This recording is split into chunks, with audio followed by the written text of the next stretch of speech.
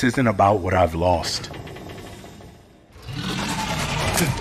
It's about fighting for what I have left. Hey guys, Society Reviews here, my review of the film Elevation. If you're looking for a generic action movie, it doesn't get much more generic than Elevation. Anthony Mackie, who is currently dealing with the near $400 million disaster that we know as Captain America Brave New World, is certainly a notable name in entertainment, but hasn't proven himself to be a leading man in any capacity. Mackie can certainly enhance a film that he's a part of, but the elephant in the room is does he have enough to be a leading man? Unfortunately for Marvel Studios, they will have to learn that lesson the hard way in early 2025. Fortunately for Vertical Entertainment, a studio that is known for significantly smaller budget films, the risk of propping up Mackie's main event status is significantly less, leading us to the sci-fi apocalyptic film called Elevation. The film takes place in the future where monstrous creatures have burrowed from the earth and have begun wiping out the human population. Fast forward three years into the future, and 75% of the world has been wiped out by these monsters, and the only path of safety seems to be that the creatures cannot travel above 8,000 feet of elevation. This leads us to a small mountain colony in Colorado where Mackie's character of Will is surviving with a handful of individuals taking care of his sick son.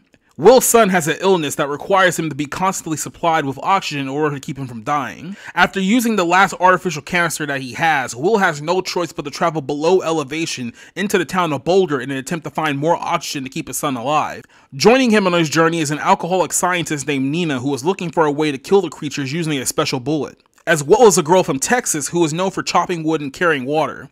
These three individuals must descend into a city where they can be targeted by unkillable monsters at any given moment. Elevation is the textbook definition of a filler movie. There's nothing remotely special about the film in its presentation. The opening minute quickly sets the stage for the universe that the characters find themselves in by not showing the origins of the creatures and how fast they were able to wipe out humanity in the first place. The acting of this film is small budget and serviceable. Much like a system quarterback, Anthony Mackie only has one job in the film, and that is get the audience to point A to point B and that's exactly what he does. Morena Baccarin and Maddie Hasson are also Mackie's co-stars in the film, and both of the women are miscast in the movie as they both come off as women who are playing roles that were originally written for men, but were likely given to them for the sake of diversity, equity, and inclusion. The short runtime works in the film's favor as Elevation succeeds in not overstaying as welcome the film is basically the perfect time killer. If you have a small window where you're looking to fill and you want to watch something that you haven't checked out before, Elevation is the perfect movie to fill that void. With that said, the movie comes off as something that probably would have played off better on a streaming service such as Netflix or Hulu,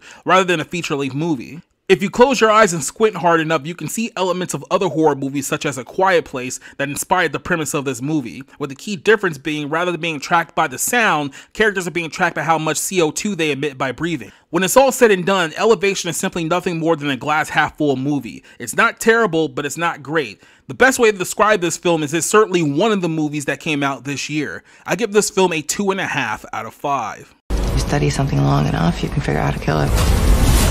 If it doesn't kill you first.